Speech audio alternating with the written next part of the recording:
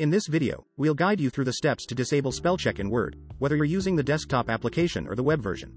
Say goodbye to those pesky red underlines distracting you from your writing flow. So let's look how to do this. First let's look at Word desktop app. Open document in Word.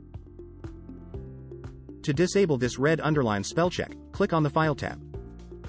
Next select Options. Then go to the Proofing tab. Under When correcting spelling and grammar in Word, uncheck the boxes for check spelling as you type and if you want you can uncheck mark grammar errors as you type as well. Then click on OK button. Now spell check is gone. If you want back then follow same steps and check the box you have unchecked before. Now, let's take a look at Word Web. Open Word document in Web. Either Word Web or SharePoint. First select all content of Word document. Right-click on Word document. Then click on Set Proofing Language. Then check in Do Not Check Spelling or Grammar checkbox. Then click on OK button. Then just reload the page URL and you will find all spell check and grammar is gone.